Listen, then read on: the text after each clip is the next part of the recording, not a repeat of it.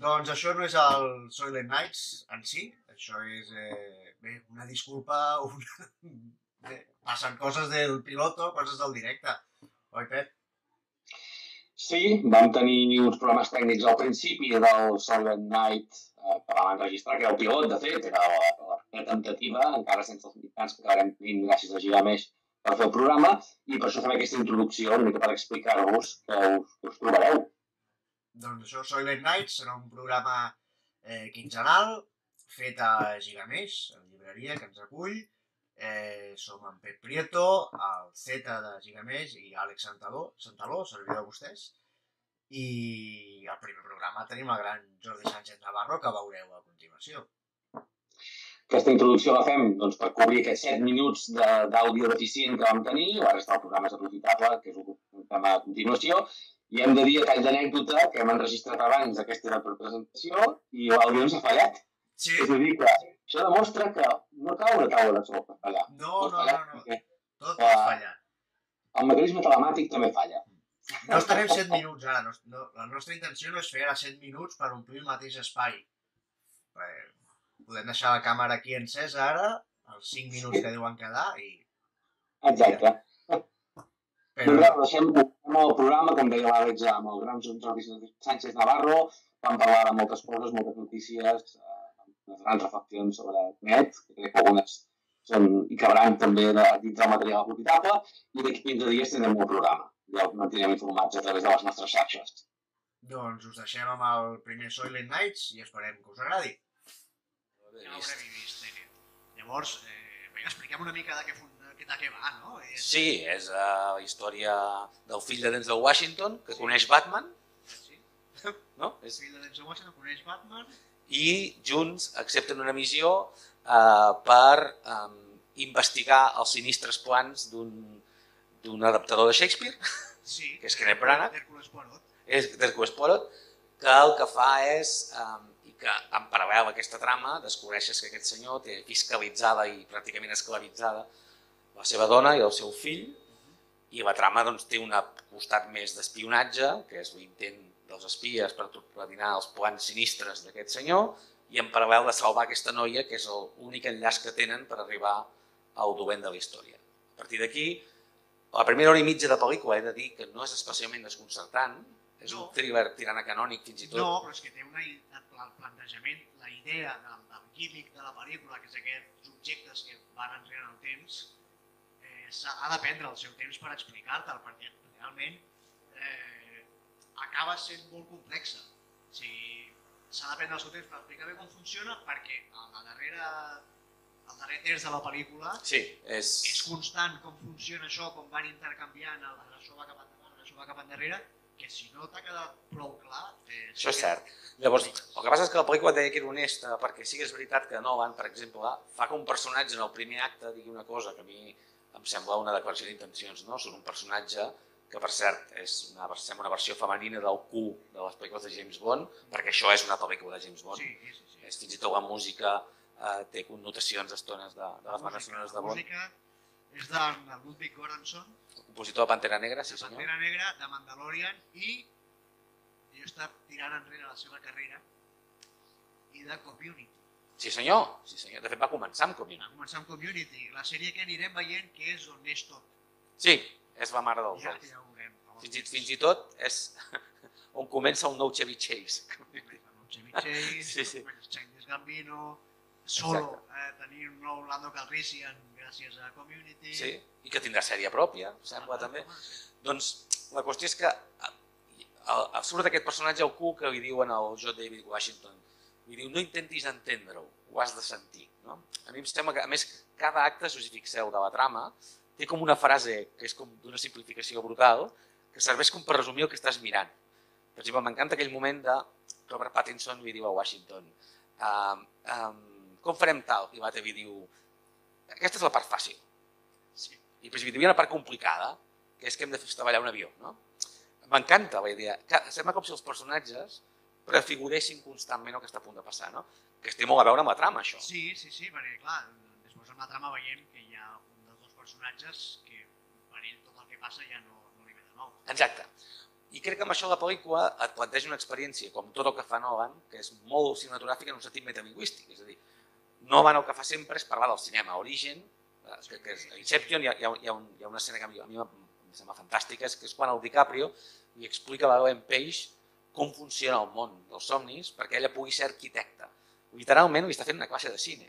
Sí, sí, sí. de rebat cinematogràfic, com, no? Com crear a partir de zero. Exacte, l'espai i el temps es són manipulables, però recorda que els personatges poden ser conscients de que els manipules, tot això és meravellós. Llavors, Tenet juga aquest mateix concepte, cert, d'una manera més críptica, d'una manera més desordenada, però que té coses tan felices, per exemple, abans ho parlàvem fora d'amic, no? que és aquella escena um, que veus un cotxe estavellat enmig de la carretera i penses, i aquest cotxe? Què fa aquí? Què fa aquí estavellat enmig de la carretera? I te'l després, dones durant la tota- persecució, penses, home, aquests són, el, aquests són els dolents. Sí. Què, què, què fan aquí, no? Que van a contra, contradirecció. Després, doncs arribes a la conclusió de per què aquell cotxe està enmig de la carretera. Llavors, jo crec que no és un, és, té aquest punt operístic dirigint. Crec que Tenet és veritat, que tira la casa per la finestra en coherència i, i, i hi ha un punt de desafiament. Jo crec o sigui, vivim una era en què el cineasta massa sovint es torna conscient del haterisme que desperta.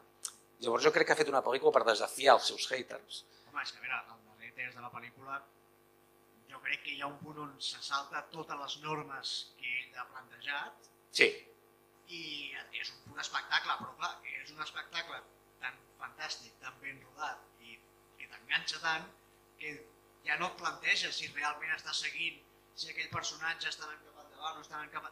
No, senzillament ja tu has passat també amb la premissa i pensant les, les possibilitats que tens que l'espectacle final és ja Sí, bé. De fet, Nolan, Nolan és com aquell amic que tens, eh, que coneixes des de la facultat, que cada cop que hi quedes et diu aquella frase de no te'n vagis que és molt d'hora, no? I t'acabes fotent una altra cubata, aguanta'm el cubata, que, que és el que et porta fins a les 6 del matí a perdre tot el, tot el món de vista. Doncs jo crec que Nolan és una mica això. És un tio que te dona el qual, I diu, anem a passar-s'ho bé. Anem a passar-nos-ho Ja bé. bé. tranquil, amb una mica ja fas, i acabes doncs, embogint amb ell. No? Hem de dir que aquesta pel·lícula serveix per altres coses, serveix per demostrar que Robert Pattinson pot ser un gran Batman i que podria haver estat un gran James Bond.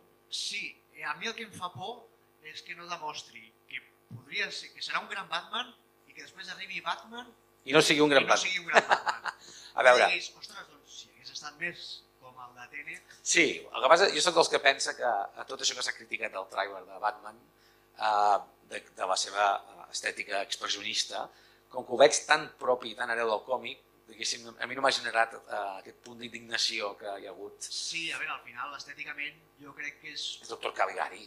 Sí, però a més a més és, és, un- és un personatge, és un Bruce Wayne més jove, eh, basat segurament en un temps més actual, jo crec que és una actualització nova del personatge, com ja he vist moltes, perquè Michael Keaton no tenia res a veure...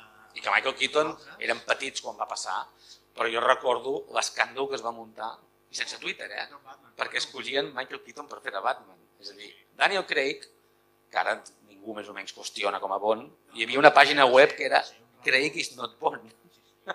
és a dir, jo crec que, va, en aquest sentit el No, Pattinson... Final, exemple, a mi el cas de Craig és, és fantàstic, perquè Craig no te l'imaginaves com a Bond, potser, però es fa tan seu el personatge d'una forma molt diferent del que havíem vist fins ara, que és molt difícil imaginar un Bond que no sigui Daniel Craig. Exacte.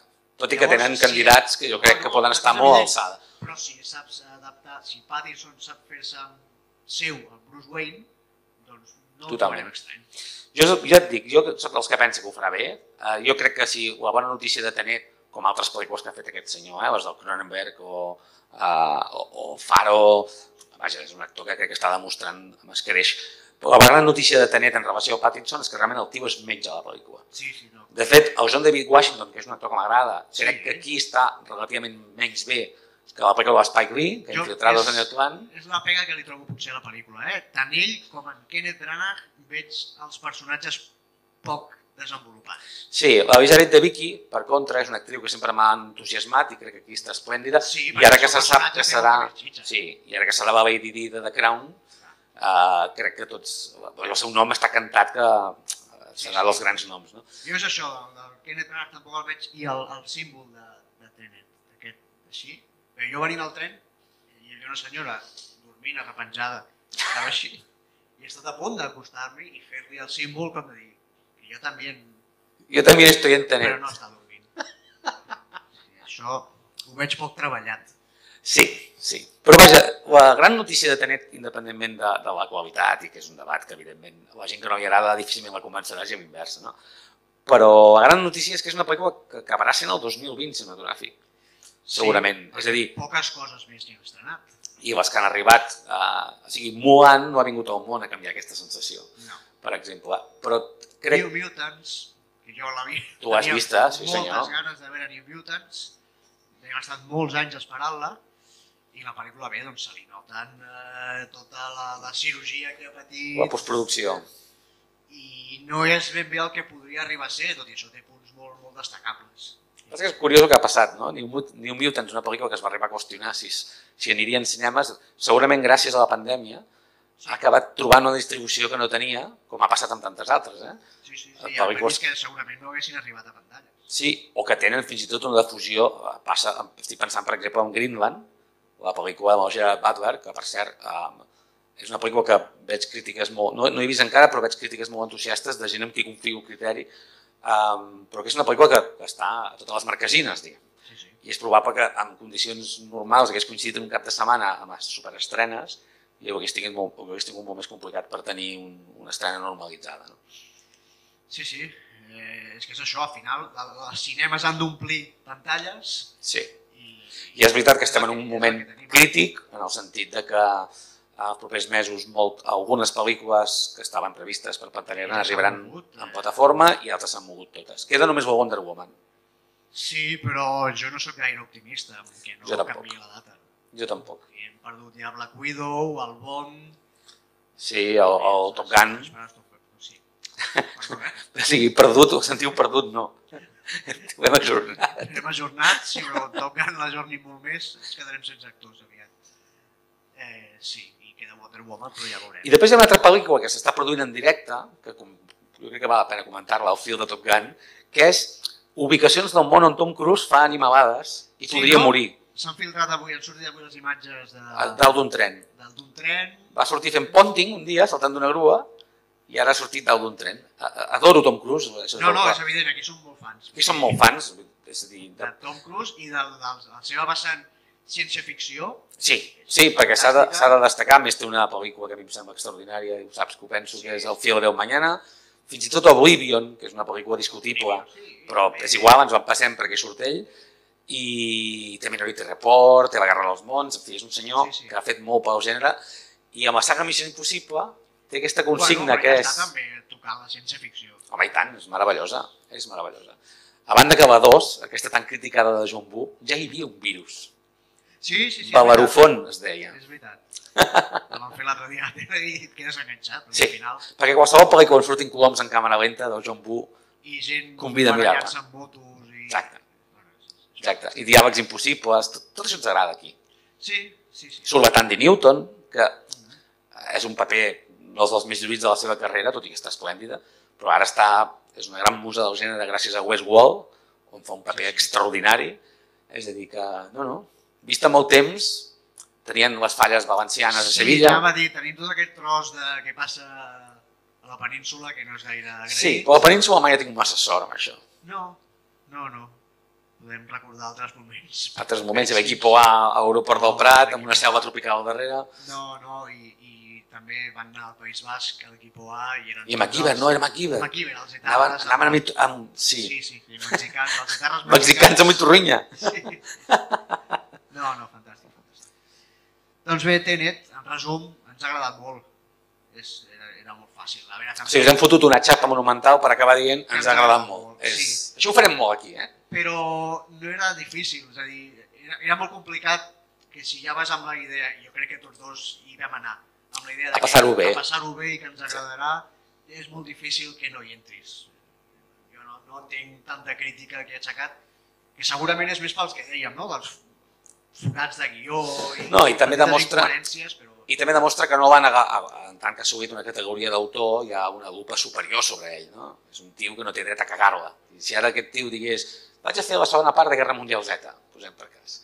Dir, la gent diria, però què dius, què dius? És a dir, fixa't, no? I d'entrada hi hauria el prejudici d'una cosa així no la pot fer ell. No? Però bé, jo soc dels que pensa, com que el porto seguint des del molt principi, i soc dels que pensa que no ha fet mai una mala pel·lícula, pot agradar-te més o menys, eh? però vaja, per exemple, la saga Batman és el paradigma d'això, no? Sí, sí, sí. Eh, en, en té, les tres a mi m'agraden molt, però amb matisos, és a dir, la que m'agrada de veritat és la segona, la primera també, i la tercera, que la critiquen molt, però cada cop em cau més simpàtica, justament perquè la critiquen molt. Sí, a veure, ara no ens posarem ara a debatre sobre el, el Batman del Nolan, eh? però segurament jo també les, les, les ordeno com tu, però a mi hi ha punts de, que, sem que sempre agafen certs cineastes que agafen aquest gènere i volen allunyar-se del gènere per Ah, sí. apropar-ho al món real, que jo no, els, no, no, no el veig necessari, però escolta, les pel·lícules... Eh, No, però aquí, aquí, en tot cas, mira, com a mínim va, va, va... De fet, va ser l'inventor d'un intent de, de prestigiar el cinema de superherois, que fins aquell moment... Sí, tot això és, sí, no ens queixarem mai de que facin pel·lícules de superherois. Ah, no, no, no. No, és que hi ha moltes pel·lícules de superherois. És més, nosaltres estem a parlar nivell que ens, ens semblen de superherois, encara que no ho siguin. Per exemple, els Diez Mandamientos, un superheroi. Gandhi, un superheroi. Sí, primer, però sí. Sí, Sí, però, si ara la fessin la faríem Henry Cavill i no seria exacte, ja no seria... No, exacte. Tot, tot hi porta, de fet. Sí, sí. El hundimiento, un superheroi. Bé, ja aquí t'hauria de parar. Sí, ho sento, ho sento. Hauria m'he embalat, m'he embalat. Eh, I després de parlar d'un tema així més gros, que en aquest cas ha estat Tenet, passarem una mica doncs, cada quinzena a repassar les notícies més eh, que ens hagin semblat curioses d'aquests darrers dies. I com que aquests darrers dies per Comencem per, ma- nosaltres... comencem per mainat, no? Sí. per nosaltres aquests darrers dies vol dir des de la prehistòria fins a aquest matí. Exacte. Per tant, Des de la sortida dels obrers de la fàbrica Això mateix. La llegada del tren Exacte. I bé, doncs eh, tenim uns quants temes. Eh, per exemple, parlant de Batman i, i ja que hem tocat el tema de- d'en Pattinson i els nous Batmans, Sí. tenim moviment a l'univers DC perquè es va anunciar per fi data del famós Snyder Cut. Aquest que tens tantes ganes de veure. Uf, me'n moro de ganes, però me'n moro de ganes. És Tanta dir, gent dient que... Tu, tu li dius a l'Àlex per telèfon Snyder Cut i sospira a l'altre costat. De... Sí, sí. És dir, tanta gent dient, sí, sí, l'Snyder Cut existeix, està fet, tal no sé què. Quants milions ara té per refer-lo?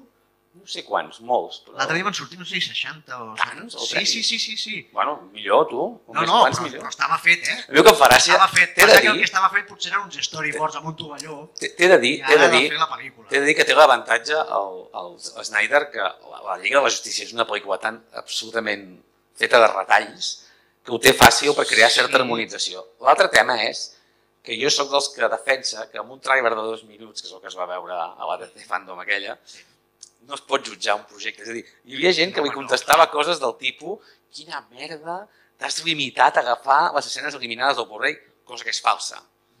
Ja, però si en teoria l'Snyder Cut existia, tot el que sortirà no haurien de ser escenes eliminades.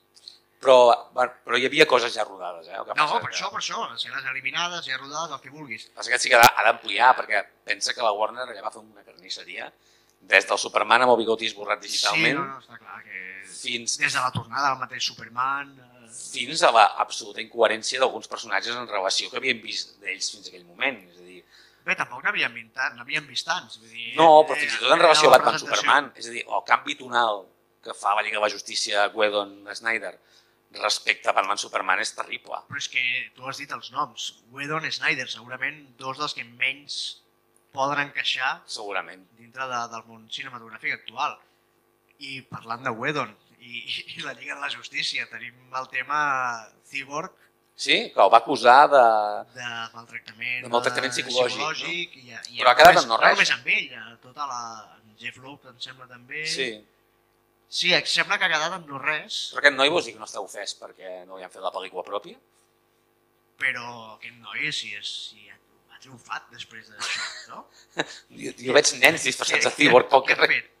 És a dir, és, és molt... O sigui, a veure, no entrarem a valorar també des d'un punt... la seva interpretació, vols dir? No, no, i des d'un punt també que som molt fan de Whedon i és, és difícil A veure, jo soc fan de forma objectiva. Però a veure- no, no, entenc molta part del que diu ell i, i A segurament... veure, jo no sóc fan ni d'un... És a dir, a veure, Whedon, i i, i, adoro la major part de coses que ha fet, només faltaria. Snyder és un tio que també m'agrada. A dir, No, no, però jo no parlo de Whedon i Snyder. No, no, no, Parlo no. de Whedon i, i el, Sí, i el Cyborg. Però, a veure, però que Whedon, jo entro en termes creatius. Jo, el senyor Cyborg, es diu Ray Fisher. Diu. Ray Fisher, sí. Ray Fisher. Que no era el cantant de la cançó dels Cazafantasmes? No es deia No, Ray Fisher? no, no. Com es deia? Ray... Eh, Deia Ray. sí, però i un júnior al final. Hi havia un júnior, sí. Sí. Bé, la qüestió és que um,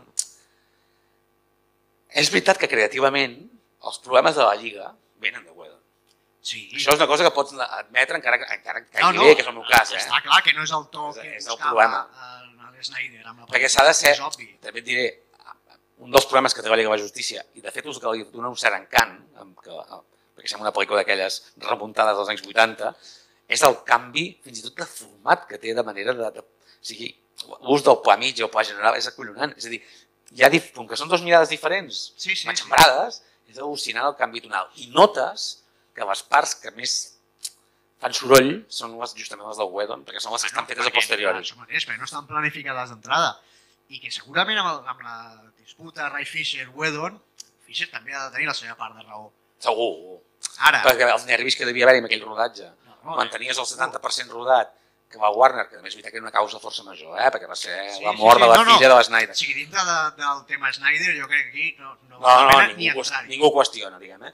Però és veritat que el tio devia arribar amb nervis, cosa que l'entenc. A més, amb la promesa, jo recordo les notícies de l'època, que havíem El parlat molt. Cyborg era el protagonista de la pel·li. Sí, i que, no, i a més a més, Whedon deia que ell s'encarregaria d'altres coses de l'univers DC, com s'ha vist que no... Sí, tal. sí, sí. Per tant, hi ha hagut aquí també, jo crec, un Bueno, però ja saps que de l'univers DC cinematogràfic, jo fins que no veig que les, la pel·lícula s'estrena en sales i pots entrar, comprar una entrada i seure i la projecten, no crec que, que, que surtin. De fet, t'he vist descregut fins i tot mirant el tràiler. Ja ho veurem, això, eh? No, no, és que ja ho veurem. Ja, ja veurem moltes pel·lis del DC que hem vist No, al sí, trailer. sí, el tràiler, però... Sí, però i la pel·li? Però, la pel·li? Sí. Eh, No, a veure, jo, jo tinc ganes de veure la Snyder Cut, primera perquè m'interessa molt això que han fet el format sèrie, crec que és un bon invent. Sí, és un bon invent per que segurament la mala, magal, Megalomania. de l'Snyder, com van retallar amb Watchmen, que parlàvem abans de, de les 4 hores, que també Sí, parlàvem fora de... Com muntatge collonut de les 4 hores, sí, sí. Doncs aquí també, vull fer 4 hores de, de Lliga de la Justícia, doncs escolta, fem un format sèrie, i ja que tenim la plataforma, ho podem col·locar aquí. Sí. Però si no, és, és una excusa. Llavors, a mi- també una altra cosa que em fa gràcia, aquí entro en temes més tecnicistes, eh? però per exemple, el Whedon es va patar la banda sonora original del, del Tom Hockenborg, el compositor de Mad Max Fury Road, Sí. que aquí li tenim un gran carinyo a la pel·lícula i al compositor, i va posar el Danny Elfman, el Danny Elfman va fer una banda sonora molt típica del Danny Elfman als anys 90, cosa que no és res dolent, eh? Però ja ho va fer amb Vengadores. Dos. A l'era d'Ultron també hi va Però, col·locar el però Daniel. fixa't una cosa, els, aquesta, aquesta intrahistòria va ser una mica, perquè ja saps que les bandes sonores són un Sí, que domino, el Brian Tyler, que venia de composar la banda sonora de Thor 2, que ja va ser un marrón fer-ho, perquè va haver de gestionar amb els temes del Patrick Doyle de la primera, Sí. etc. Però una banda sonora fantàstica. Fantàstica, de les millors. I d'Iron Man 3 també va fer. Són els Sí, dos sí. que va fer el Brian Tyler. Va ser justament el tractament que va donar Josh Whedon a la banda sonora original que havia compost, el que va motivar el seu acomiadament. De fet, en aquest cas no va ser tant això que ell va marxar, i entra Elfman. I Elfman recomposa parts de la banda sonora, tot i així el resultat jo crec que és extraordinari. Eh? M'agrada molt aquella banda Sí, sonora. sí, sí. Els dos estils conviuen bé. Sí. Llavors, a la Lliga de Justícia va fer el mateix experiment, carregant-se, però, tota la part de música del, del Hulkenborg, que incluïa, per exemple, el famós tema de Wonder Woman, que aquí la versió que fa Elfman doncs no, no està bé, No, no. uh, i de fet va permetre recuperar el tema de Batman de Danny Elfman i fins i tot algunes notes uh, del Superman de John Williams, però és cert que a la minissèrie de HBO Max sentirem la banda sonora de Hulkenborg, que a més a més haurà pogut acabar-la perquè en el seu dia no va poder. És a dir, aquestes cosetes a mi, mira, com a cinèfil fric, No, no, està clar que el, el, el completista... i, sur i sortirà l'Iris West, bueno, bueno, bueno, Sí, el sí, Flash, que de fet hem vist imatges d'aquesta escena, uh, recuperarà la Robin, en teoria, com a mínim el flashback famós on se la veia morir a mans sí, del sí. Joker, que surt només l'uniforme, recordem-ho en una seqüència, uh, de Batman-Superman, i vaja, que jo crec que com a, com a experiment cinèfil serà interessant. També és veritat que pot obrir una veda. Sí. Pel·lícules maleïdes, on el director diu, eh, Que jo tinc la meva versió... Jo tinc la de- meva versió. No, no. Hi ha molts casos de Director's Cut eh, que milloren el muntatge. Sí, Troia, per sí. exemple, ja sé que ens ens desviem del tema, però Troia, un muntatge del director és molt millor que la versió cinematogràfica, i ara en diré una que és exagerat. El Reino de los Cielos, de Ridley Scott, Sí, que va sí. ser un fracàs monumental en el seu dia, el muntatge del director és infinitament superior al de cinemes. Però infinitament vol dir que sembla fins i tot una pel·lícula. És a dir, que us la recomano molt. Bé, i deixem ja el, el, les novetats de l'univers DC així més petites i anem a l'estimada competència, en aquest cas era al revés, la competència de DC. Les novetats de l'univers Marvel a nivell cinematogràfic i de sèries. Hi ha una notícia, em sembla que d'ahir, que és que torna Jamie Foxx com a Electro Sí, senyor. a Spider-Man 3. Curiosa coincidència, la de DC i Marvel decidint que les properes pel·lícules eh, explicaran els seus respectius els, universos. els, els propis errors eh, previs, en aquest cas l'univers Marvel amb la, la idea del multivers, sobretot la veurem a Doctor Extraño, Uh -huh. amb en Sam Raimi, és curiós, no? Tot, va, Tot- va tot tornar, ca- tot casa. torna. Que demani perdó per Spider-Man 3 i aquí som. Sí. bueno, jo crec que l'haurà demanat, si no? Li Jo crec que hi haurà un gag d'això. És possible. És tan veiem conscient. El Doctor Extraño fosc ballant a Bleecker Street. Jo crec que això ho farà. Això ho tindrem. Allà, allà hi tindrem, s'ha anunciat, no?, l'Electro, Electro sortirà sol Jamie Foxx a la tercera de i Spider-Man. sortirà Tom Cruise. No, el que parlaven de Tom Cruise era el rumor de a Doctor Extraño de Multiverse of Madness, que trobaríem diferents eh, realitats alternatives de l'univers Marvel, i sonava una opció de tenir Tom Cruise fent de Tony Stark. Com Però de moment és un rumor. només. És un rumor. Tot, hi ha molt rumor Sisplau, i, Tom, i no si ens estàs res. escoltant, Sí, home, sisplau, fes-ho. Quan hagis baixat sí. el tren, hem parlat ja molt de tu avui, Tom, com perquè no estiguis ja... Exacte. No, no t'hagi patat les mencions de Twitter, estan parlant de tu. I també tenim, hem vist el tràiler també de WandaVision. un gran tràiler. Atenció eh, a les reproduccions La visió, tràiler. no, és la Bruja Escarlata i la Vision. Es titularà aquí, així. Sí, És que WandaVision bé, pot despistar. És, és una productora... És que de fet el nom ja està agafat. Sí, però igualment trobo que és coherent que, com a, com a, com a traducció davant del problema, no? No, no, la traducció és coherent. És coherent perquè tradueix els noms, però ja que els tradueixes, fes-ho com el còmic i posa Vision i Bruja Escarlata. Ah. No Bruja Escarlata, perquè és... a mi em sona estrany, T'he de dir que l'Elisabeth Olsen deu cobrar més que el Paul Bettany, eh? segurament, perquè serà la protagonista Serà de la la sèrie. protagonista de la sèrie i ja està bé també, no? Sí, no, no, i tant. Canviar el paradigma. I a més a més, tenim també altres personatges que ja han aparegut al tràiler. Tenim la nova...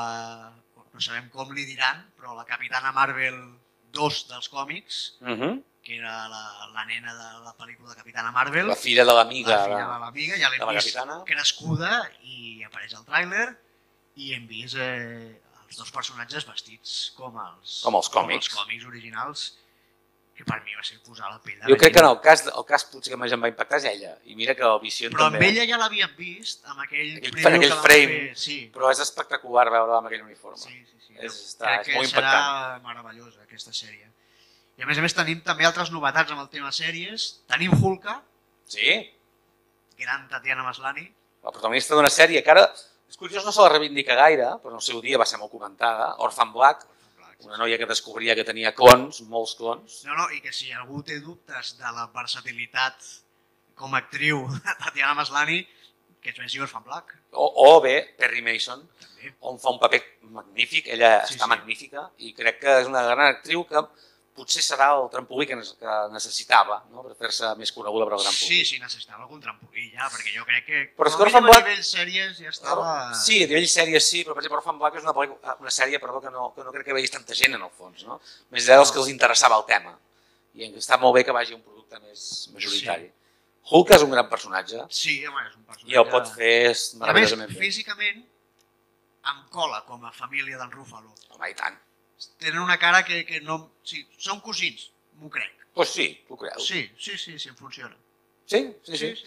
No, i a més a més, a veure, eh, vista l'aposta de Marvel, veient els trailers de WandaVision, si una cosa queda clara és que han volgut fer-se una autoesmena en moltes coses, no? Com que saben que les sèries de partir d'ara s'integren dintre l'univers cinematogràfic, jo crec que veurem productes... Són sis episodis, recordem-ho, tots tenen la mateixa estructura, sis episodis de 50 minuts, no més, i de fet, eh, i amb esdeveniments que impactaran de ple No, clar, és que ara sí que realment tens els mateixos actors, no pots obviar que és el mateix univers, el cinematogràfic i el, i el A més televisiu. parla de que Daredevil, no? Apareixerà en un dels aquests universos. Un altre rumor. Sí, però aquest diuen que hi ha més fonament. Mira, hi ha el rumor de que, de que en, en Cox pot aparèixer fent de, de Daredevil i també sonava a Vincent D'Onofrio recuperant el paper de Kingpin a Spider-Man. Això seria... Seria fantàstic, Si fan això, jo crec que ja directament... perquè recordem que Kingpin és un enemic de Spider-Man, que després arriba Frank Miller i l'adapta per Daredevil, però Kingpin neix a l'univers Spider-Man. A la propera Spider-Man, de tota manera, si, si torna a Electro i torna Kimping, jo proposo que surtin Garfield, Maguire Bé, això també sona. i Nico- Nicholas Hammond, També, mira, que a més Tarantino el va recuperar. recuperar per Once Upon a Time in Hollywood, és el director de la pel·lícula que, Sí, sí, de la sèrie, perdó, el pilot que roda DiCaprio, i aquest actor va fer de Spider-Man l'any 78, sí, sí. una sèrie televisiva. Uh, Fantàstica. el meu fill té un pijama de Spider-Man més ben fet Més ben fet que l'uniforme de la sèrie Bé, televisiva. i tirava xarxes de pescador. Sí, tirava xarxes, és veritat, eh? Molt políticament incorrecte el que feia aquest senyor. Bueno, mira, és el que Sí. sí. hi havia a l'època. I a part de l'anunci de que tenim Hulka, tenim Miss Marvel. Sí, senyor. I així com podíem parlar de Tatiana Maslany, de Iman Belani, no podem dir res. No podem dir res. Perquè no ha fet res fins ara. Només fer notar que no és, no, res passa per casualitat a l'univers Marvel. El primer joc llicenciat de PlayStation 4, t'ho explicava un dia, no? de, de, de Marvel, uh, dels, sobre els Vengadores, en tenen d'altres, tenen l'Spider-Man, que va ser un dels jocs més venuts, és un dels jocs més venuts de la història. Curiosament, el pes narratiu de la trama principal recau sobre Miss Marvel. Crec que hi ha una aposta forta de la companyia per fer-la popular, Sí. per fer-la convertir-la en un dels eixos de la nova fase. No? Jo l'altre dia pensant en tota l'evolució de l'univers Marvel em vaig adonar en Vengadores de dues coses. Primer, hi ha personatges que hi han d'entrar perquè actualment tenen una força i un pes i una i que és una revolució a nivell social, com ara Miss Marvel, Sí, senyor. Sí, sí, ho és, ho és. i ha d'entrar per nassos. Avui en dia toca Miss Marvel, igual que va tocar... eh, La Capitana o- No, però, però els altres els han anat introduint amb el mateix ordre que els còmics. Sí, això és veritat. Sí, sí, sí. sí. Perquè si tu mires, exceptuant la Viuda Negra, que va arribar abans d'hora, al- a l'univers de Vengadores, la resta van entrant tots igual. I fins i tot els personatges que dius, aquest em posaràs? Perquè Mantis arriba més o menys amb el mateix ordre que els còmics, ara arribarà la segona Capitana Marvel, arriba el Caballero Negro a Eternos, És veritat, sí. és possible que arribi Hèrcules? Compte, eh? que l'ordre és el mateix. I a mi aquest rigor em posa la pell de gallina. Són aquestes tonteries, Aquestes coses aquestes t'emocionen. tonteries que dius, pues ho estan fent bé, pues ho estan fent bé, ho estan fent bé. No és el Snyder Cut. És... No, ho estan fent bé, ja està. I deixem l'univers Marvel per anar a una altra franquícia del senyor Disney, que és... En té poques, eh? En té poques, sí. Que és que a final de mes, d'aquest mes d'octubre, eh, arriba la segona temporada de Mandalorian. Una segona temporada que arriba, no podria arribar amb més al·licients, perquè a No, més a no, més dels fitxatges que ja hi fa i el record de la primera temporada, cada vegada que veus alguna cosa d'aquesta sèrie... Jo, que, jo crec que el més important a dir de Mandalorian, i crec que ho he dit tantes vegades, que la gent deu pensar soc mig huevo, no? però No, però aquí no ho has dit encara. eh, no ho he dit encara. El gran mèrit de Mandalorian és que tant li fot que sigui de Star Wars. És una meravella de sèrie més enllà de Star Wars. I crec que si hagués guanyat l'Emmy a millor sèrie dramàtica, quan va arribar el rumor de que podria acabar passant, va guanyar Succession, que ens agrada molt a tots, Sí, sí. però realment s'ho mereixia. És una sèrie fantàstica, de Però- principi a final. Sí, sí, est- estic totalment a favor, eh? I si t'hi fixes, de les darreres pel·lícules de Star Wars, segurament la que més ens deu haver agradat és Rogue One. I Han Solo. Sí, però si t'hi fixes, Rogue One podria ser de Star Wars com podria ser de qualsevol altra Com cosa. podria ser 12 o Petit Blue, Que és el que és. que és el que és, exactament. Però és quan t'allunyes una mica d'aquest univers, fas una història diferent, però dintre d'aquest univers, tot i que no estàs forçat ni a posar Skywalkers, ni a posar la saga de, de, que portem fins ara, doncs surten coses de més qualitat. Sí, sí, sí. I després tindrem saga, de, tindrem sèrie, perdona, de Obi-Wan, Sí, al final sí. Veure, no Aquesta, està- no aquesta està- és com les pel·lis de DC. no està cancel·lada uh, i la del Lando, que, i, i fins i tot van anunciar una preqüela de Rogue One en el seu dia. Sí, bueno, tenim i sèrie de, bueno, és la sèrie de Cassian Andor, no? Sí, és això. Sí, sí, la sèrie de Cassian Andor, que és el Vigo Luna, que és un gran personatge. A mi em va agradar moltíssim.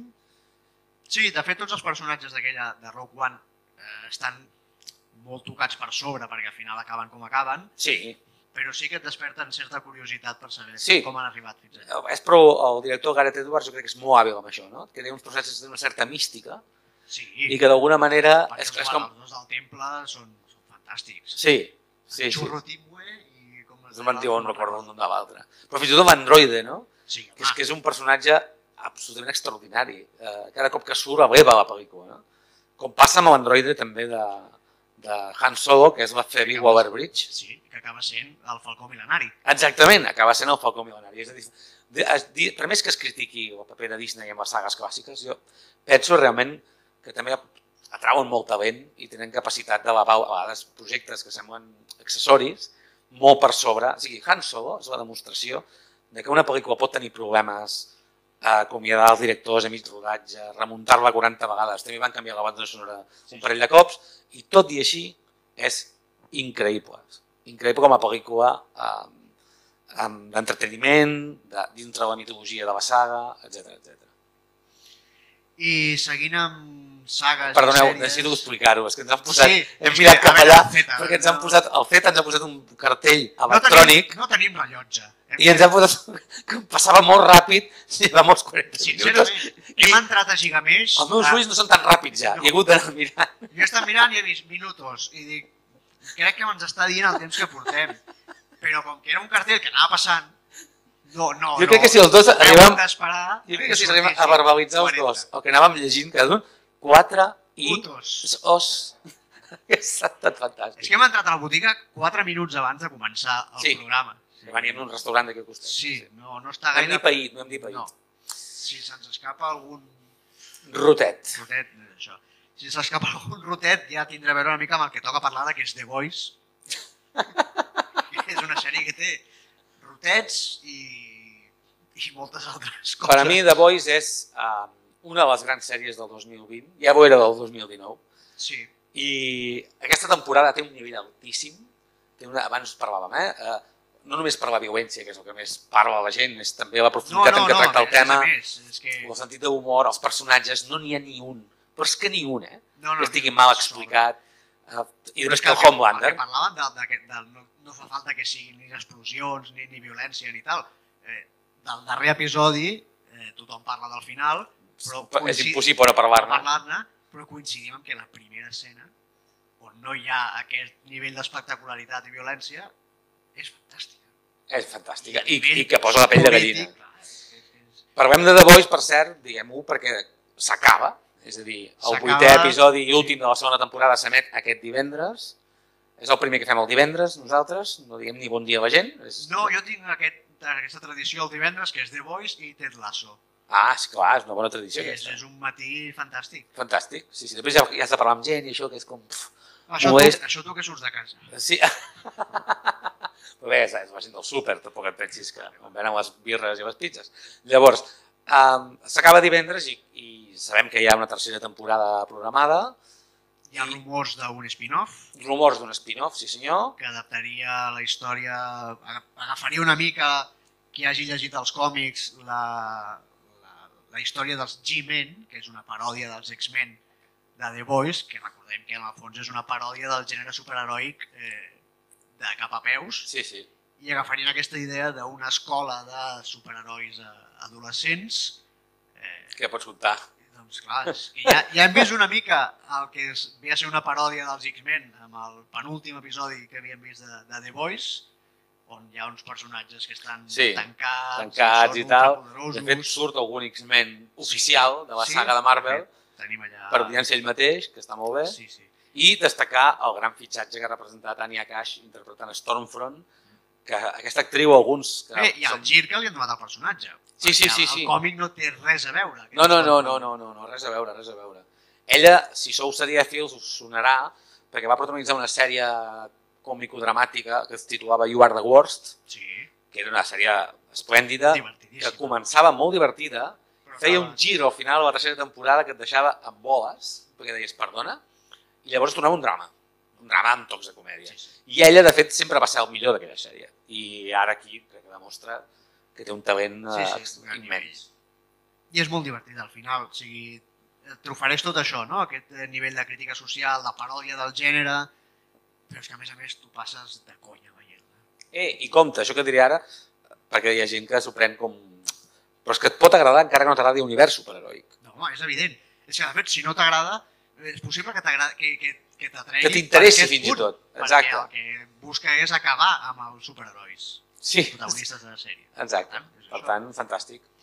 I teníem un altre tema, eh, no tan alegre i divertit com The Voice, que és que fa uns dies doncs, eh, va, ens va deixar Kino, creador de Mafalda. Ets un gran fan, no, de Mafalda? Jo sóc un gran fan de un gran Mafalda. Mafalda. Et deixaré a tu que facis... No, teva- més que res perquè Mafalda, eh, clar, tu, tu, és aquell tipus és aquell tipus de vinyeta a la que accedeixes un moment de la teva vida que encara no entens el significat que té. Tu passes bé, doncs, una mica com passa amb Snoopy, som a les distàncies, eh? Jo és que sóc més de l'altra banda. Però, però Snoopy, Snoopy evidentment té, té, una, té un objectiu diferent, no? Eh, Potser en diguéssim, en resumir la, la vida quotidiana no, tenen punts paral·lels, Sí. però és veritat que la, la, la lectura social i política que té la Mafalda està Oposades perquè els orígens dels autors són... Exactament. Llavors, al Kino, quan hi accedeixes, tu veus una tira còmica, efectivament ja ho diu, no? Uh, I és curiós com, perquè la Mafalda és un personatge que si vas recuperant al llarg de la teva vida, clar, tu a mesura creixes, la Mafalda creix amb tu. Per més que ella sigui sempre la Mafalda nena, no? Sí, sí. I crec que per això l'altre dia la mort del Quino, per més que era un senyor gran i que, bueno, No, clar, és llei de vida, no? Però impacta perquè d'alguna manera tu et sents que li deus una part essencial del teu coneixement a través de la vinyeta, no? I jo personalment crec que la Mafalda és una gran herència d'ell i també del còmic en general, no? Sí, sí, no, això Si és... tens el boom de les tires, és al·lucinant l'evolució del personatge fins i tot. Tot i que a mi sempre m'han atret molt més les tires que ha fet fora de l'univers Mafalda. Ah, clar, no, Ah. és que aquesta és una altra. Jo, no, o sigui, no, no estic tirant pedres a, aquí, no, eh? A mi eh, No, no, no, m'interessa t'interessava més tant l'altre Mafalda, costat. sinó que l'altra banda eh, m'entra molt més i, i era un geni. Sí, sí, sí. Era un geni i a més a més això, no? crec que té molt mèrit fer projectes eh, i creacions transgeneracionals. La Mafalda agradava a la meva mare i resulta que després em va agradar a mi i ara el meu nano si enganxa un còmic de la Mafalda se'l llegirà. Clar, té, és té una atracció indiscutible independentment de la mirada no? i això crec que és un mèrit a Sí, l'alçada sí. de pocs. No? Sí, i a l'alçada de pocs gèneres, perquè al final la tira còmica és, el, és un gènere molt donat a això, a la longevitat de, dels de la història, del personatge, parlàvem de Mafalda, parlàvem de Peanuts, però l'altre dia parlant amb un amic de, de la mort de Quino, dèiem, bueno, clar, a veure, nosaltres una mica sap greu, però tampoc ara quan es mori Bill Watterson, Clar, doncs ens agafa un, un cobriment. un cobriment. Sí, Tots clar, pensen. evidentment, no? Però, però jo crec que eh, el que està bé és que quan passen aquestes coses tristes de les efemèrides, que són...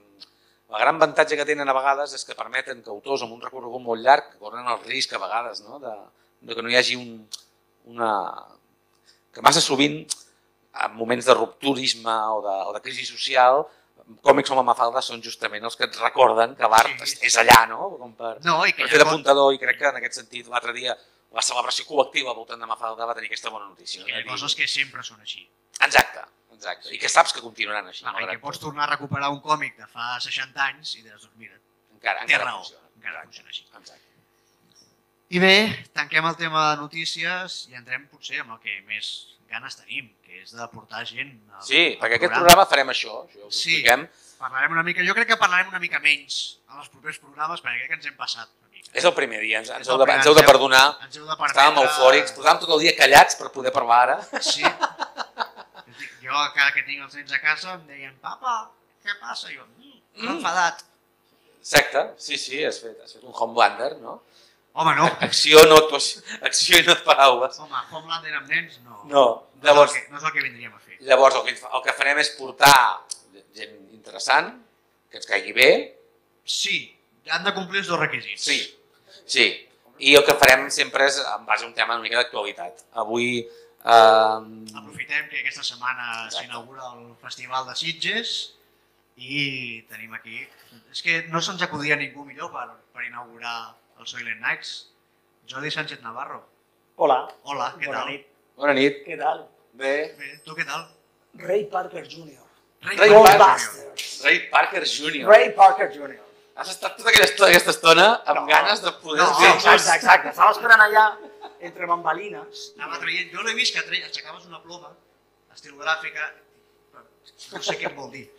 El Jordi, a banda de, de supervisor de, del temes d'animació al Festival de Sitges, que podem parlar-ne tant d'això Sí, com de tota la resta, és autor d'aquest llibre que veieu aquí en primera instància, Sí. La imaginació intangible, de Mhm. l'editorial AUOC, eh, dit a la col·lecció Filmografies Essencials, que el que fa és repassar la història de l'animació des de la seva perspectiva. Ja us avisem que si compreu aquest llibre us passarà una cosa divertidíssima, i és que mentre llegiu, a part d'aprendre, us vindran ganes, unes ganes terribles de veure moltes altres pel·lícules que al llibre són citades. Sí, són 50 pel·lícules, tens la llista a l'índex al principi, Exactament. les pots anar a buscar directament quines, les que has de veure, però clar, jo ara venia al tren rellegint les, les, les meves pel·lis favorites per recordar, dic, clar, si coincidim amb l'opinió, però clar, les vas llegint i dius, clar, però és que aquí em referencies aquesta altra que, hòstia, aquesta no l'he vista.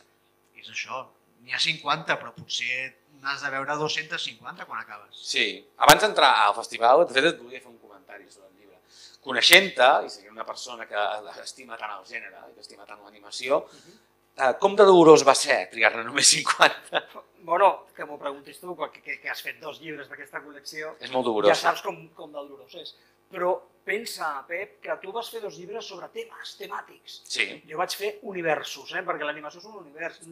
No és ni una tècnica tan sols, és un conjunt de tècniques. És a dir, eh, dibuixos animats, 3D, mm, Stop 2D, motion. stop motion, stop motion de tot tipus de materials, minus i... Eh, per tant, és molt més que un gènere, és molt més que una tècnica, és un univers.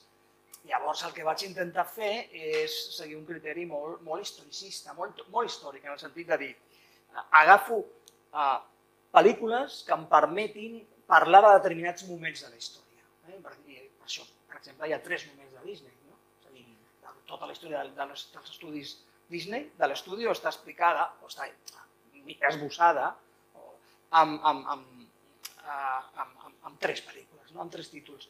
I una mica vaig intentar fer, fent això i una altra història molt complicada i és que em vaig uh, preocupar molt de, de fer una panoràmica internacional, és a dir, no tot podia ser japonès, no tot podia ser... I finalment em vaig tirar molt, molt, molt per l'europeu. O sigui, precisament perquè crec que està infrarrepresentat en altres títols, que parla molt de l'animació americana, molt de l'animació japonesa, jo vaig dir, em va tirar una mica cap a, cap a l'europeu. No? I no repetir directors, ja saps que això és una, per mi era una obsessió. Això, no repetir directors, imagineu-vos, implica que de Miyazaki pots triar una, De de. Satoshi Kon pots triar una, de Brad Pitt pots triar una només. bueno, i, i de tants genis que hi ha, Ralph Bakshi, eh, en fi, molts genis que, que, que tenen moltíssimes pel·lícules, moltíssimes obres mestres i que només vas poder triar una. Quin és el truc? Doncs fer que el lector tingui ganes de veure la resta de les pel·lícules d'aquest d'aquest director en concret. No? Però sí, va ser molt dolorós, va ser una... Imagina't, una agonia. Treure cada... O sigui, eliminar cada títol és... No, ha de ser- ha de ser molt fa mal. complicat. Sí, com, mai, mai un, la tecla suprimir, eh? És, l'apretes, és... Oh, és dolorosa. Hem de dir que aquest llibre va tenir la mala sort, tot i que és un llibre llarg recorregut i per tant està molt de temps que el podreu trobar, però va sortir just quan ens van confinar. Sí.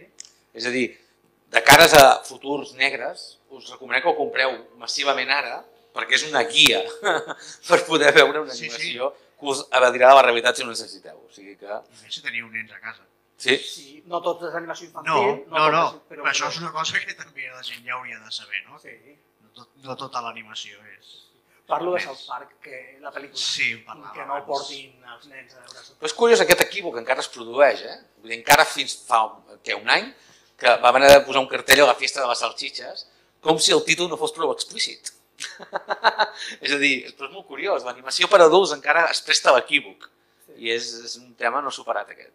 Així és, així és. I bueno, aquest tipus de debats també t'ho permet fer un llibre com aquest, no? perquè vas mm, això, fent una, una mena d'història de l'animació, de, de, dels seus daltabaixos que té la tradició d'animació, la pròpia um, bonança comercial de, de, de, de, de la tècnica ha tingut moments més gloriosos i menys, és a dir, et permet parlar d'això. I el debat sobre eh, és cinema o no és cinema, és a dir, eh, es pot entendre, i això és un debat molt més, diguem, teòric, És un debat, un debat, tot. un debat molt obert aquest. molt obert, molt interessant, és a dir, és més cinema que el cinema, és menys cinema, eh, aquestes coses... Per mi és cinema. Sí. Per mi sí. Però em consta que- que grans Clar. experts de la nostra era consideren que no. Hi ha, hi ha experts en cinema que diuen que no és cinema, és una altra cosa. Mhm. O és, sí, és en la família del cinema, però no és, però no és exactament cinema. Però avui en dia que hi ha tantes coses diferents, encara podem tancar la porta de què és cinema o no a un format diferent, perquè si ens posem al cinema amb tanta postproducció de- d'efectes visuals, d'animació, de 3D, eh, hi ha pel·lícules que s'acosten molt més a l'animació, tot i ser amb imatge real, Sí, sí. que no altres que són considerades. Que hauríem de començar a parlar de narratives, no? més que de... Això passa amb, amb altres indústries que emergents, com el videojoc, no? que ja fa un temps cap aquí que la narrativa del videojoc doncs, no només ha influït en les altres arts, sinó que a més a més se la comença a validar com a, com a possible, no? com a una narrativa autònoma. Però jo crec que és, vaja, l'animació és que és veritat, a veure, en tant que generadora d'emocions, i això val per Miyazaki, val per App i, per, val, i val per tantes altres. Crec que aquest debat a vegades ens perdem una mica en el debat de les formes de les etiquetes i no finalment en el- en l'aportació i la influència que tenen, perquè l'animació, i això el Festival de Sitges imagino que, que és una cosa que porteu anys treballant, no? però la mostra d'animació és una mostra amb ànima pròpia, no? Sí, és sí. a dir, no, no, no, no és una submostra dintre de l'oferta del festival, sinó que té una dialèctica permanent amb els grans títols. No? Això suposo que també ha estat eh, un dels grans reptes a l'hora de fer-lo al festival. Sí. Ser, ser, tenir la capacitat d'aportar aquest tipus de gènere i ensenyar el millor. Sí, ensenyar millor no és fàcil perquè ja saps que un festival és, és un conjunt de, de, de coses, de circumstàncies que de vegades no, no controles. És a dir, tu pots tenir molt clar que vols ensenyar aquella pel·lícula i de cop la distribuïdora decideix estrenar-la una setmana abans. Això, això passa, per tant... vull dir, Passa molt. Sí. Però sí que, sí que és cert que la secció Anima, de la qual jo sóc eh, curador o un bueno, responsable, juntament amb el director del festival, la Quetzala, eh, el que fem és intentar una mostra de llargs no molt, no molt gran, sinó 7, 6, 7, 8 llargmetratges, dels quals acostuma a haver 3 o 4 japonesos. Però sempre hi ha la peça essencial que creiem que és indispensable del cinema europeu, eh, o creiem que, eh, o creiem que del, cinema nord-americà d'animació, i sobretot el que jo cuido molt, perquè crec que, i, i d'això és difícil parlar, perquè la gent no pensa mai, però el que jo crec que és, que és pedrera real i, i realment el filó de la creativitat són els curtmetratges. A diferència del, del, el- a diferència del cinema d'imatge, diguem, de carn i ossos, eh, que els cineastes molt sovint comencen el, o pensen en el curt com a una, com un entrenament, o sigui, ah, el precalentament, no? O sigui, primer faig curs, aprenc i després ja em llanço al llarg. El curtmetratge, si us fixeu, hi ha artistes que han passat tota la seva vida al curtmetratge. És a dir, hi ha gent que adopta el curtmetratge com a manera d'expressió. Té molta més entitat com a, en animació. No? Bueno, la prova, la prova és que parlàvem del gegant, no? però Disney té un apartat de curtmetratges. Uh, que, i, no, I no és un camí, sinó que és el destí, el No, curtmetratge. segurament et permet experimentar més, et permet jugar més, és un altre format, has de ser més concís i, i parlem de, no és gravar un curtmetratge amb una càmera, doncs potser en una setmana, mira, si vas bé el tens gravat, un curtmetratge d'animació segurament són mesos, Sí, mesos sempre. i altres anys, Sempre són per mesos. tant, no és allò de dir, no, faig això perquè, no, no, és que t'implicaràs eh, Sí, sí. mesos i anys de la teva vida A més, hi ha la, a més, hi ha la tradició històrica molt interessant del curtmetratge d'animació, les Silly Symphonies de, de Disney, però els Looney Tunes de Warner, que, que eren el complement dels programes de, de, de llargmetratge de, de la Warner, posaven un, un curtmetratge del, sí. del Max Bunny. No? És a dir, aquell format famós dels 7 minutets és històric i hi ha obres mestres. Hi ha autèntiques obres mestres i guanyadors de l'Oscar. Sí, sí, uns quants. sí, sí, sí. N'hi ha uns quants. I quin és aquest any la promoció de Sitges, que comença per cert aquest dijous, recordem que aquest dijous comença la, el programa, uh, què ens ensenyaràs? Què és, quines són les joies de la corona que... En d'animació. Animació. D'animació, mira, d'animació jo crec que, a més, els que sou, especialment l'Àlex, que és eh, comiquero, eh, la pel·lícula de Joan Esfar, El petit Mm. vampir.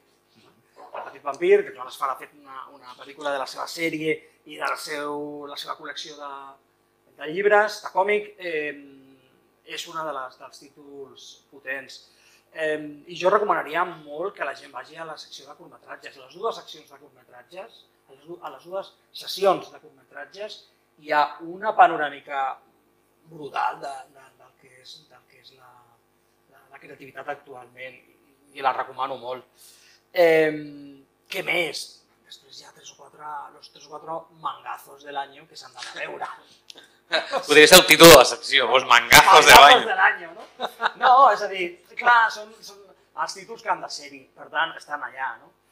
I, i de, el que també participo en la selecció o en la programació dels títols d'imatge de carniós, diguem, la imatge real, per dir-ho d'alguna manera, tot i que la imatge real a mi em sembla una mena Sí.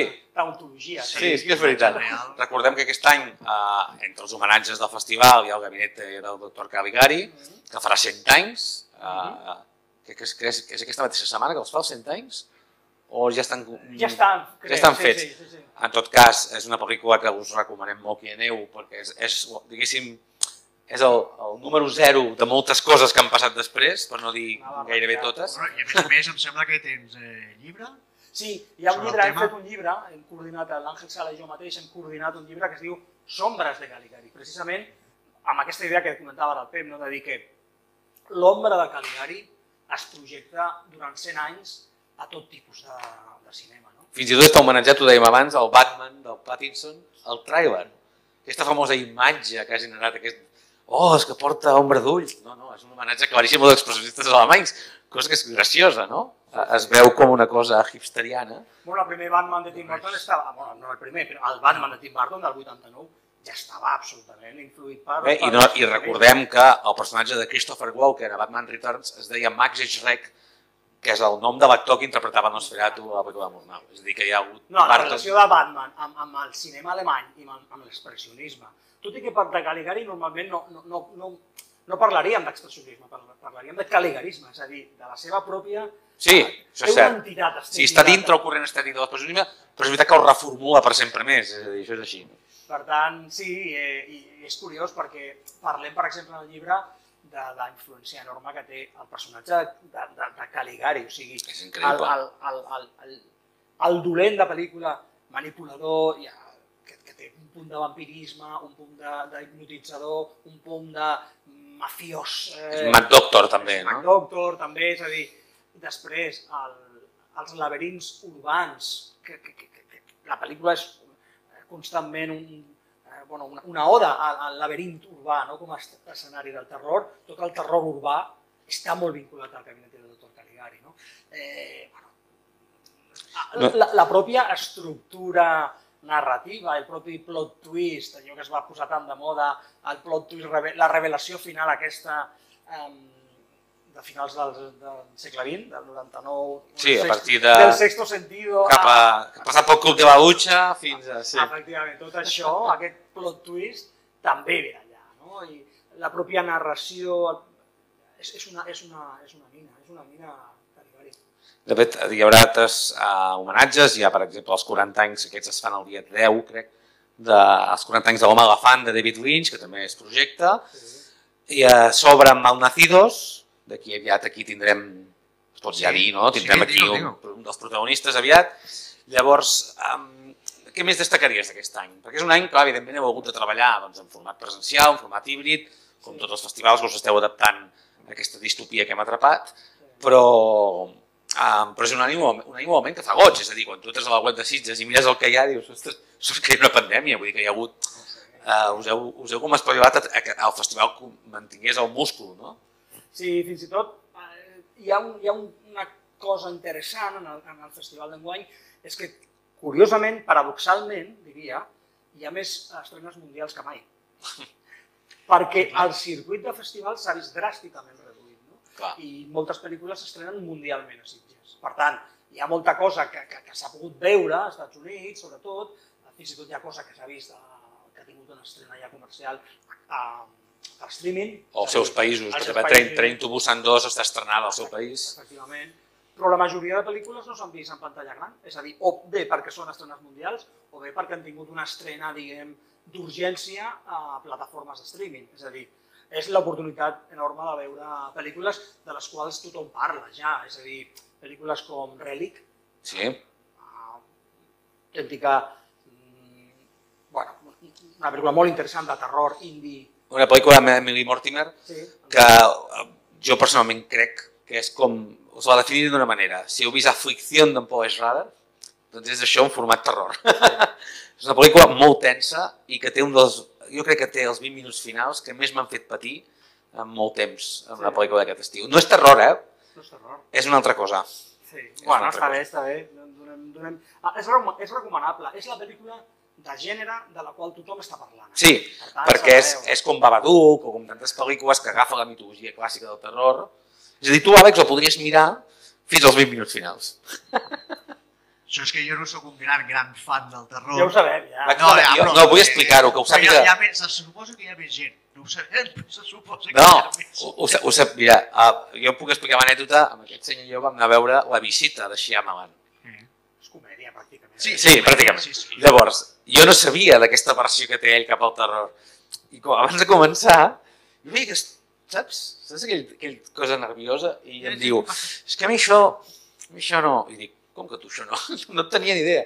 I clar, la pel·lícula, la, a la primera hora encara la pots sostenir, però a partir de que la- la- l'àvia és- protagonista, a partir de l'escena del sòtan, Però, però, però és, és que és això, té un punt de comèdia sí, i jo sempre suavitza tot. Relic no. Relic no té un punt de comèdia. Relic és un drama de principi a fi Però i al final té un, un festival. Un festival té un festival, té un festival, Un com el de Sitges, un festival de Sitges. Què més tenim? Més Aquest any hi ha, hi ha coses. Relic, Hi ha Relic, hi ha una pel·lícula que també s'està parlant molt, nord-americana, indie, que es diu She Dies Tomorrow, que és una pel·lícula Mm. molt ideal. amb, amb la Angela Betis? Eh, No. no, no, no, no. Aquesta és de la... Um... Ah, no, es diu, Dead, no, es diu diferent la de l'Àngela Betis, m'he confós de títol, és veritat. Sí, sí. Uh, She Dies Tomorrow és la, la, una pel·lícula ideal per veure en temps de pandèmia. Perquè parla de pandèmia, havent estat, o sigui, segura, la van fer abans de la pandèmia, òbviament. Com passa amb tantes ara, no? Sí, que les... sí, sí, sí. Hi ha tot un imaginari um, que malauradament, uh, o afortunadament, perquè és que sabem veure les pel·lícules d'una manera contemporània, que està molt connectat uh, inexplicablement amb el moment que estem vivint. Això ha passat amb les sèries, també. Sí. Mira, per exemple, Netflix estrena demà una producció russa del 2019, que allà es va titular Epidèmia, i aquí l'han titulat Hacia el Lago, per si de cas. Um, sí, Bueno, clar, per la distància. per la distància. Que és una sèrie que és sorprenent, perquè és del 2019, a veure, no té la qualitat del col·lapse, per entendre'ns, però, però, però el que planteja en molts escenaris recorda completament a la situació Doncs actual. això ens passava, mira- mirant algunes pel·lícules en el procés de preselecció, de, o en el procés de selecció de, de Sitges, dèiem, aquesta pel·li és d'abans, no? sí, sí, o sigui, la mires i dius, però això no ho van fer a l'any 19, o sigui, ho van fer a març del sí, sí. 19, fa un any. Clar, així Days Tomorrow això passa, doncs. Ah, així és, la recomanem ja d'entrada. Més coses, estrenes mundials interessants, com, eh, bueno, el, eh, el, ara, és que ara, no, ara no recordaré el, el títol sencer. El viatge... mm, Ai, malauradament, ah, ho sento moltíssim. No ara. passa res, home, Ja això... buscarem, ja buscarem. No, però el... després me'n recordo. jo. El 30 monedes també... El primer capítol primer del 30 capítol. monedes. D'Àlex de la Iglesia, sèrie d'HBO, que s'estrena de encara falta, no? Arriba... Encara falta, és una, ha passat per, ha passat per, per Venècia i s'estrena, es, es veurà a Sitges. Uh, aquesta sí que us, puc- dir que és una autèntica passada. És una passada.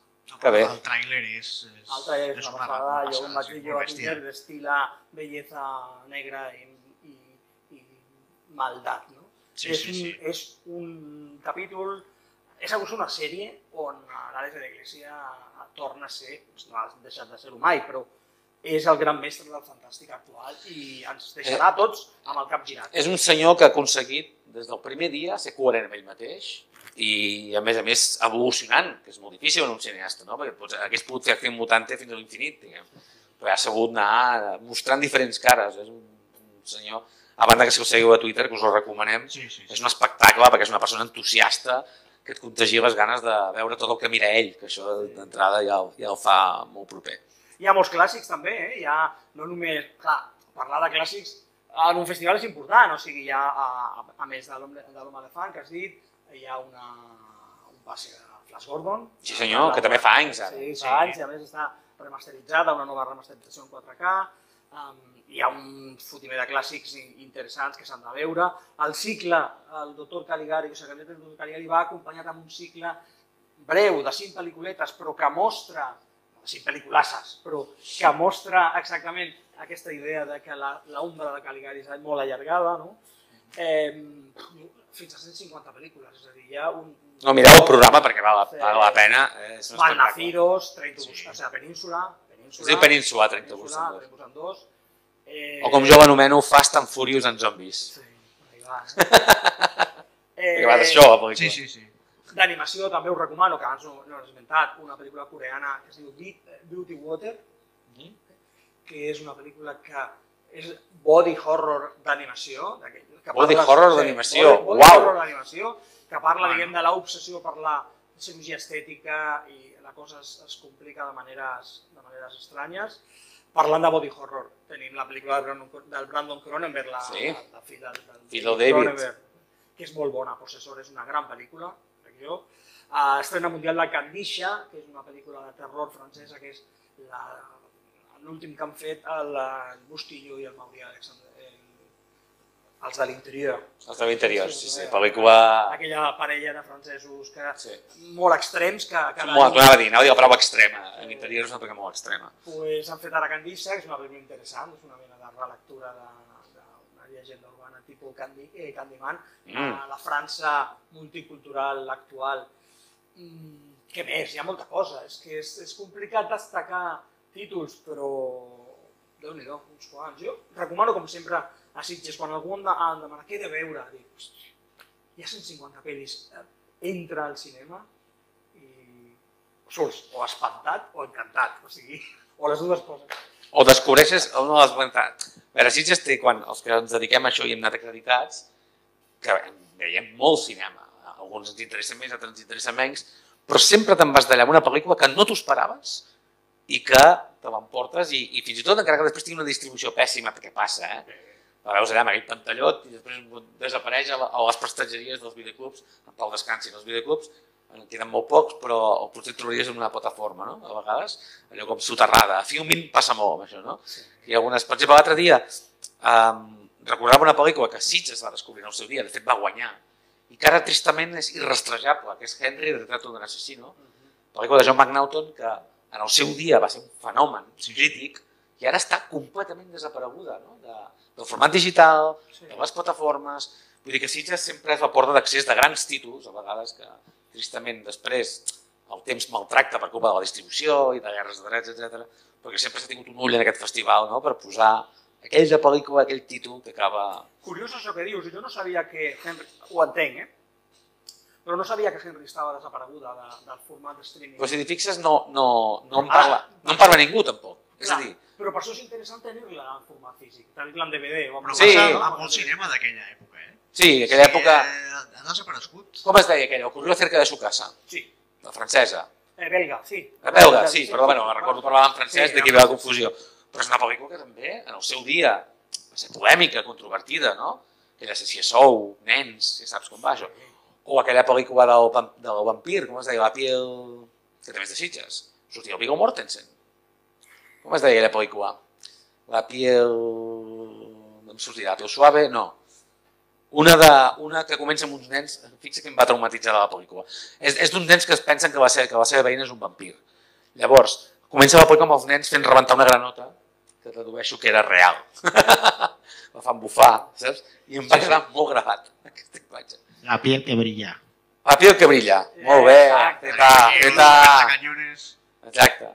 Doncs aquesta pel·lícula, per exemple, no són pel·lícules que en el seu dia perceps que Sí. se'n parla i després, des- és el que diu l'Àlex, No, desapareixen de l'escena. No? Si estem parlant... dels, dels 90.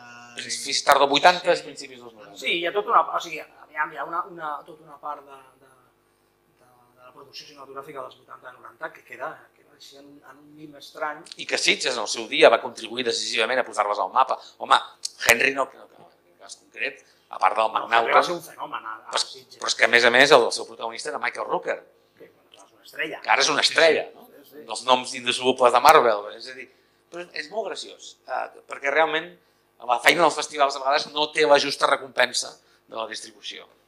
I segurament aquest, aquest catàleg, quan hi ha sort, eh, el té una plataforma de streaming, però el té eh, com arraconat en el sentit de aquesta forma part de, de, del catàleg així amuntegat, no? Hi, hi, ha, hi ha plataformes que realment no sabem el que hi ha. Amazon, Sí, Amazon. es pot dir noms. Amazon. Amazon, És a dir, tu comences a bussejar a Amazon i et trobes que algú t'ho ha de dir. Algú t'ha de, de fer una, cur, una curadoria del que hi ha a Amazon. No? Jo estic per demanar-vos comissió, perquè, perquè tinc certa tendència quan descobreixo segons que Amazon m'emociono. Sí, no, és que hi ha pel·lícules que no... Que no ho saps? però fins i tot. HBO té molt menys del que, del que accedeixes a primera, a Sí, primera línia. Sí, fins i tot. Però I tot i així té un catàleg menor. clar. No, no apareix. No, no, no, no, però el cas d'Amazon és bestial perquè deuen comprar drets, que és veritat que en molts casos no tenen ni tan sols la pista anglesa o original i que faran uns doblatges impresentables, eh? però, però és cert que tenen coses allà que dius com pot ser que tinguin aquesta pel·lícula, pel·lícules això dels 90, oblidadíssimes. Sí, les que no trobes al lloc. A més a més les tenen classificades, sabeu que si baixeu les pestanyes d'Amazon, ara farem un tutorial. Quan baixeu les pestanyes fa molta gràcia perquè posa pel·lícules de l'any 2000 o pel·lícules de los 90, però allò enganya, perquè només s'han triat les més reconeixibles. Sí, sí, sí. Clar. Però si aneu al genèric, al genèric, allà us sortiran com 500, i si vas baixant dius, això està aquí. Has d'anar al ver totes. I el tanto, i el tanto. Perquè a més a més hi ha un altre problema, i és que en molts casos amb els títols canviats. Perquè en el seu dia es van estrenar amb el títol original i els hi han posat un títol que no sé qui els... No sé si l'ha posat Daredevil el títol, però en tot cas és, és que, no, és que no, no, no té res a veure amb el títol tal com el recordàvem. I clar, hi ha Hitchcocks allà, Sí, sí. però de l'època primerenca, eh? que dius, No, no, Però si no són de superherois, a l'Àlex no té interès. no, ja, ja. no, no, ja sabem que no. No, però és el que, també és interessant el que deies abans. Si no les tens en format físic, ja no les trobes. Exacte. L'altre dia vaig anar a co- a comprar pel·lícules i després em una mica, però encara compres pel·lícules? Sí, Sí, perquè si aquestes no les trobo al lloc clar. i sé que no les trobaré al lloc, llavors si les vull tenir, doncs... Això és un tema interessant. Jo crec que ja queda poca gent que, que comprem pel·lícules i, i, i les grans distribuïdores, les grans companyies estan eh, reduint els seus llançaments, però apareixen, diguem, eh, companyies independents Regne Unit i Estats Units hi ha un grapat que fan edicions molt cuidades, molt ben plantejades i que val la pena comprar-les. I fan tirades limitades, llavors, clar... Aquí comencem a tenir distribuïdores. Sí, Hi ha la gran feina que fan els de Riu One, per exemple. sí. Uh, Divisa també ha fet una gran feina de remasterització, etc. Però és veritat que el format físic, que alguns som uns romàntics encara, Ara parlaves de Flash Gordon, jo aquesta, aquesta nova remasterització.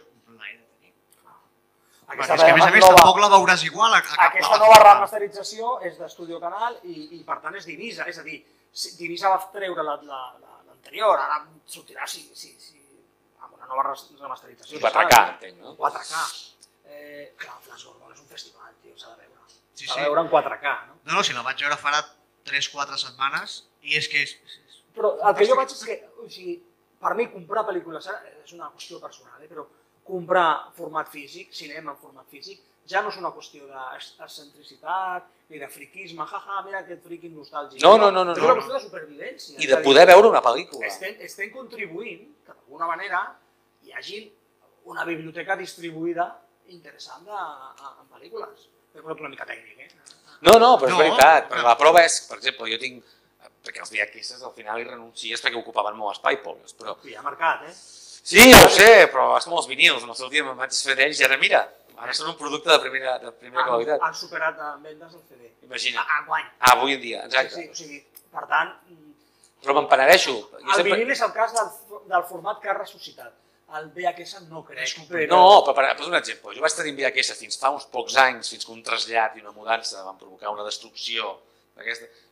Max Headroom, 20 Minutes into the Future, que és el mitjmetratge que va donar peu al personatge com a presentador televisiu i la sèrie posterior. Sí. Doncs jo ara això no ho trobo. No. Doncs me'n penedeixo molt. Entens? És un trauma que arrossego. Per això dic que fins i tot els VHS, en alguns casos me'n penedeixo de no haver fet un major esforç. Però arriba un punt on ja has de sacrificar una part de la teva vida. de- Doncs dormiré al sofà i no tindré un llit perquè... Fes un llit amb els. VHS. Pitjor, pitjor encara, a l'estiu vaig fer un tuit. Uh, quan el Sam Raimi va venir a Sitges a presentar mm, Darkman, Sí, a l'any 90, jo li vaig 30 anys. portar un VHS de Evil Dead, Possessió Infernal, i me'l va signar.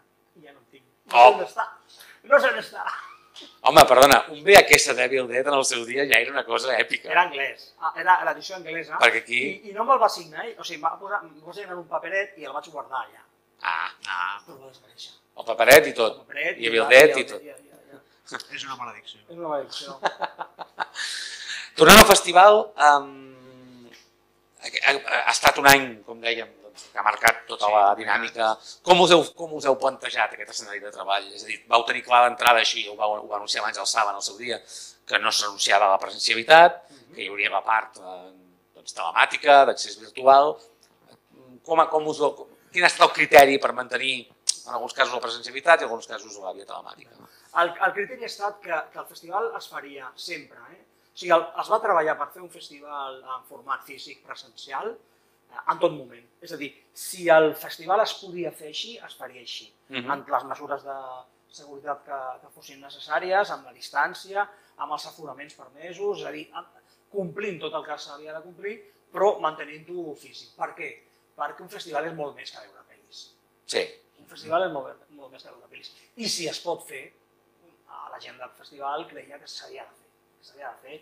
S'havia de fer crear aquella, aquell ecosistema que durant 10 dies allò és un, un, un, una bombolla en la qual només es pensa en cine, ah, hi ha, ve, venen visitants a parlar de cine, venen professionals del cine, és a dir, allò s'havia de mantenir.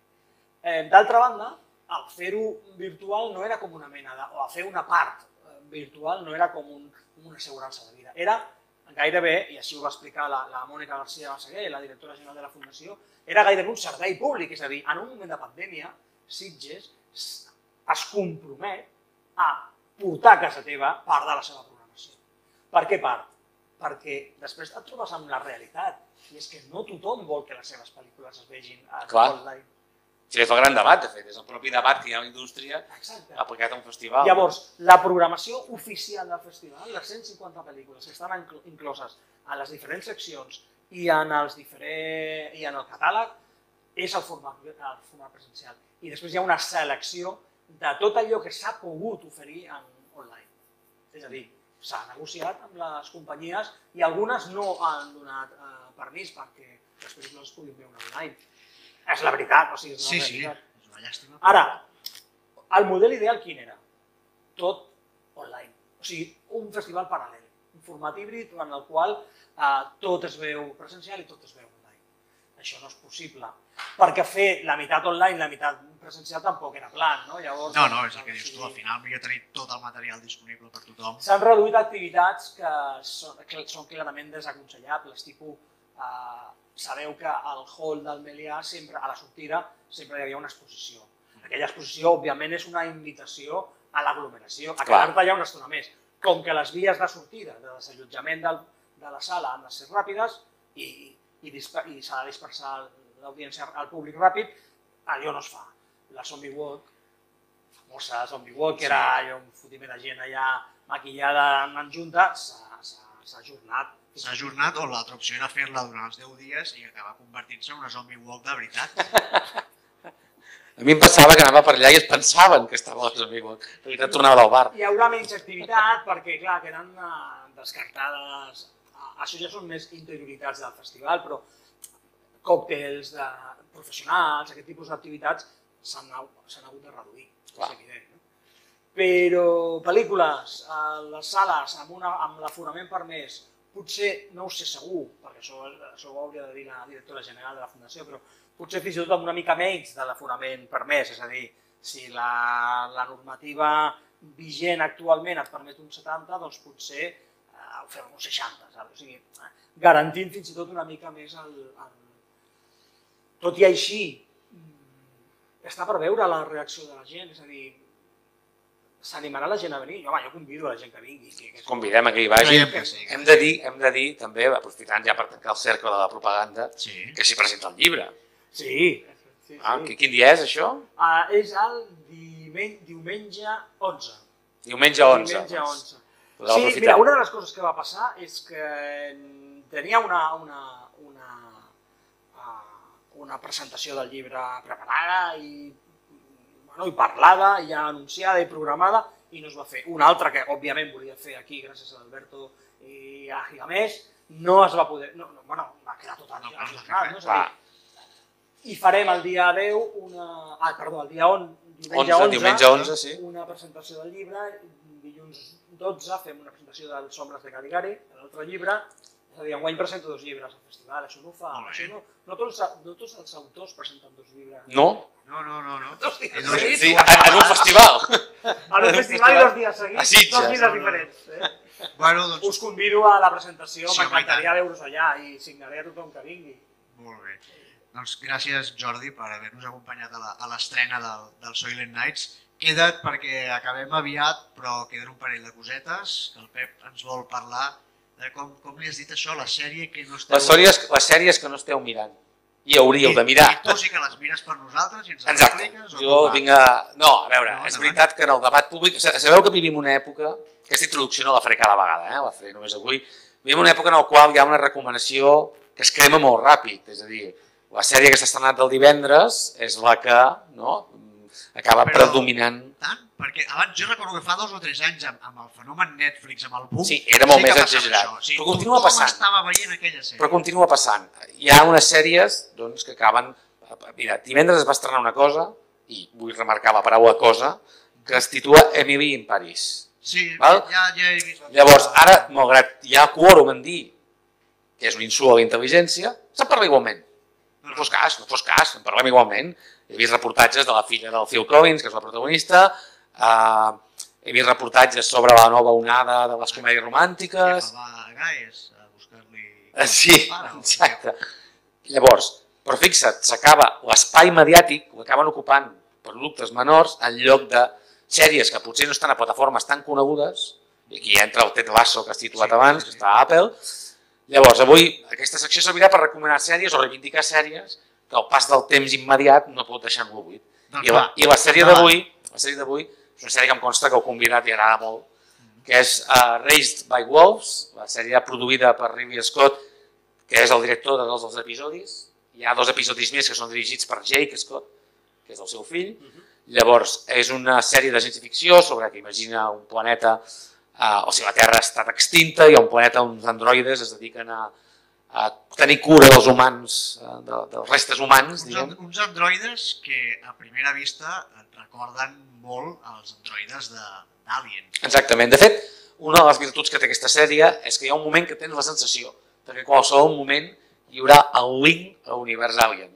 Sí, És- estàs, estàs esperant el logotip de la, de la Wayland, De la Wayland, que exacte. aparegui a qualsevol lloc. És una sèrie tècnicament molt ben resolta, fascinant des del punt de vista uh, de la configuració d'un nou univers. És a dir, és una sèrie que fa un esforç molt lloable per tenir una, una ànima pròpia i que els amants de la ciència-ficció, que molt sovint estem orfes, ara ens queda d'expans sempre, no? però hi ha poques sèries d'una ciència-ficció oberta, ciència-ficció que no perdi el temps amb ximpleria, sinó que hi hagi una, voluntat d'anar més enllà del, del llenguatge habitual del gènere, i aquesta és una d'elles. Ha tingut la mala sort d'emetre's per TNT, que és Sí, una, la que podem una, trobar a Movistar. la podem trobar a Movistar, però és veritat, tinc- si hagués estat una sèrie d'HBO, No, com Westworld, que ho és una sèrie d'HBO, HBO Max, als Estats Units Sí, que ha entrat HBO, jo crec que ara estaríem tots molt més volcats en ella, probablement. No?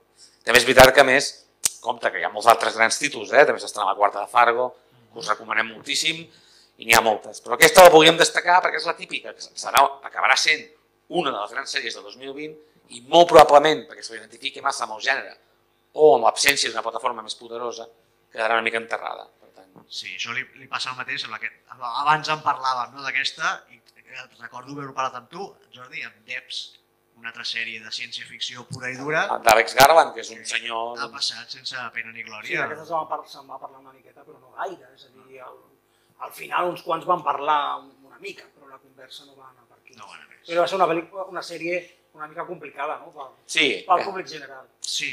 I de Rise by Wolves, eh, coincideixo totalment el que, el que comentes, jo crec que és una sèrie molt recomanable, a més amb un punt de partida molt interessant.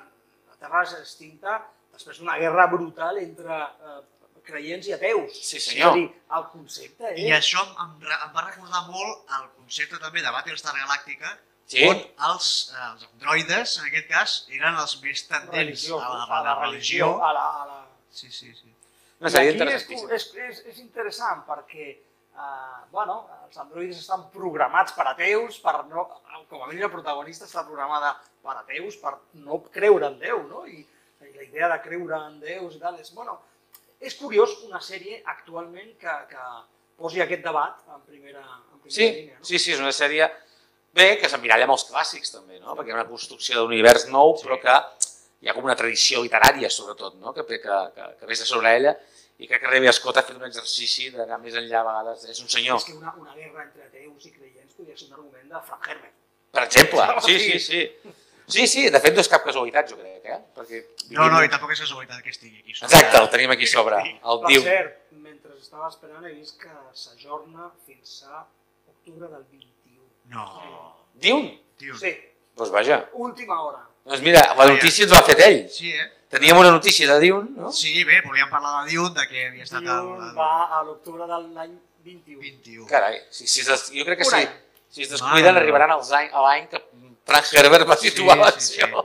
No, teníem aquí Dune perquè era un dels llibres més venuts de, de, del mes a Gigamés i volíem parlar una miqueta, però se'ns acaba el temps i jo aniré molt ràpid també. Igual que en Pep recomana la sèrie que hauríeu d'estar veient, jo us recomanaré un còmic cada setmana i aquí porto el, el Paper Girls amb guió de Ryan Cabaugan, que el coneixereu per Runaways, Ex Màquina.